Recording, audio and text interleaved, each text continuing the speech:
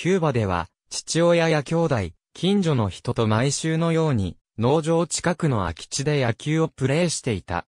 本人はキューバから離れることに消極的だったが、セミプロの元野球選手だった父の勧めもあり、MLB のミネソタツインズのスカウトである、ジョー・カンブリアと1961年2月に契約を結んだ。彼に連れられ、アメリカ合衆国へ渡った。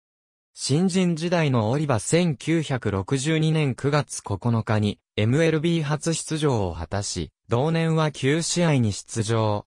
翌1963年は9月9日から7試合に出場した。いずれも打席数はわずかであったが2年とも4割を超える打率を残した。もっともこの2シーズンは大部分をツインズ参加のファームチームで過ごしており、着実に鍛えられていた。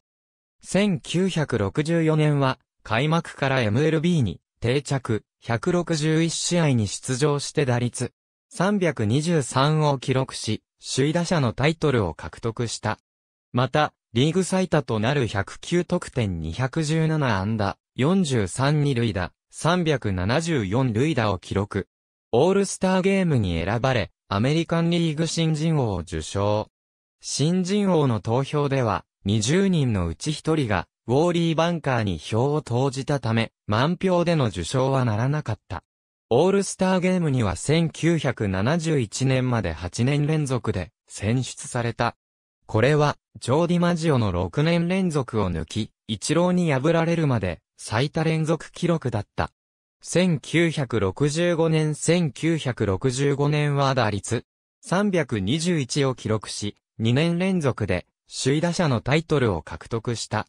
ワールドシリーズでは、初戦で右翼手として最多タイとなる7視察を記録したが、7試合の出場で打率192に終わった。チームはロサンゼルスドジャースに3勝4敗で敗れた。シーズン終了後の MVP の投票では、チームメイトのソイロ・ベルサイエスに次ぐ2位に入った。1966年に初めてゴールドグラブ賞を受賞した。1969年にアメリカ合衆国の市民権を取得した。1971年は自己最高の打率337を記録し、3度目の首位打者のタイトルを獲得した。しかし、6月29日の対、オークランドアスレチックス戦で、ジョールディの打球をダイビングキャッチを試みた際に右膝を痛めた。そのため、オールスターゲームに選出されたものの欠場。1972年は、右膝の怪我の影響で10試合の出場にとどまり、翌1973年以降は、指名打者として起用された。1976年は、コーチ兼任となり、シーズン終了後に現役を引退した。1977年シーズンは、コーチに専念し、同年一旦退団する。その後1985年に再びツインズのコーチに復帰し、1991年まで務めた。ツインズ打撃コーチ時代のオリバオリバの背番号6。ミネソタツインズの永久欠番に1991年指定。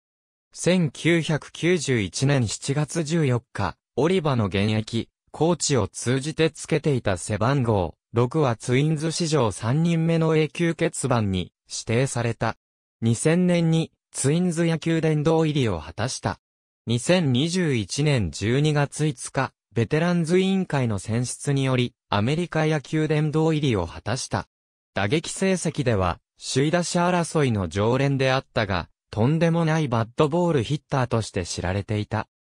首脳陣から悪球を打たずに選球眼を磨けば、打率4割も夢じゃないと何度も言われたが、悪球打ちこそ、自分のバッティングと信じ、生涯変わることはなかった。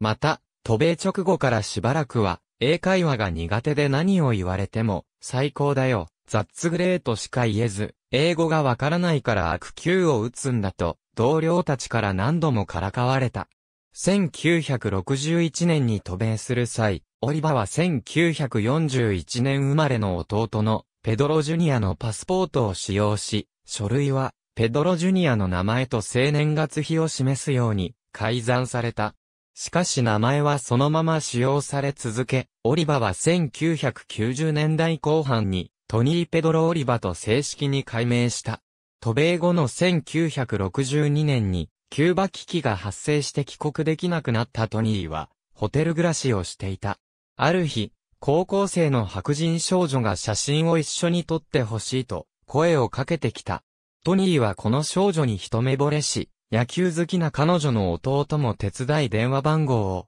交換した。家族旅行に来ていた彼女が、後の妻ゴデッドである。実は彼女、トニーのファンだったのではなく、初めて見る黒人を珍しがって写真をねだったに、過ぎなかった。しかし二人は、電話だけの長距離恋愛を温め、彼女が大学に進学してから、真剣な交際を続けて1968年に結婚に至った。二人は子供を三人も受け、トニーは今も妻が一番だという。ありがとうございます。